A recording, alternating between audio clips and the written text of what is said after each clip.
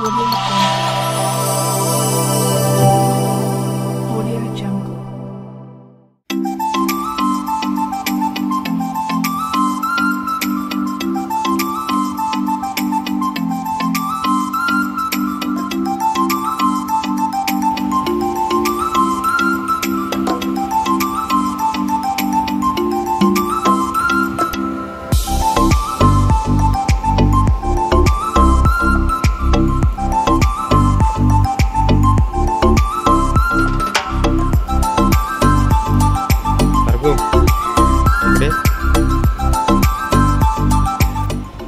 नमस्कार मित्रांनो स्वागत आहे आपलं तुषार विलोस्टार या चॅनलमध्ये या माशांना देव मासे असे नाव कसे पडले ते तुम्हाला या व्हिडिओमध्ये मी सांगणार आहे.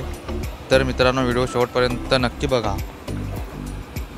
या प्रकारचे मासे कोणत्याही भागात दिसत नाही. या माशांना देव मासे असे म्हटले जाते. या माशांबद्दल एक गोष्ट आहे.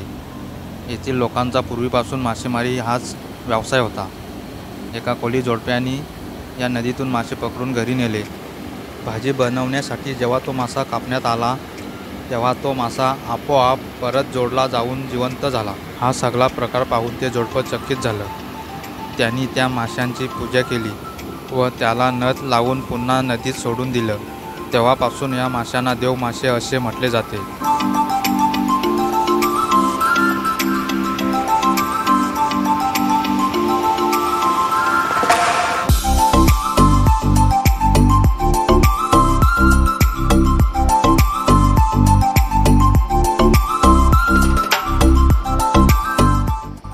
व येथील माशांना पकडण्यास सक्त मनाईसुद्धा आहे.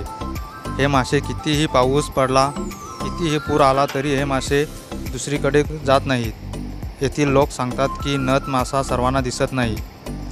ज्याला हा मासा दिसतो तो नशीबवान असे म्हटले जाते. कारण हा मासा वर्षातून फक्त एकदाच महाशिवरात्रीच्या दिवशी पहाटे बाहेर पडतो आणि मंदिराला प्रदक्षिणा घालून पुन्हा नाहीसा होतो. त्याला घातलेल्या नथवरून ओळखता येते.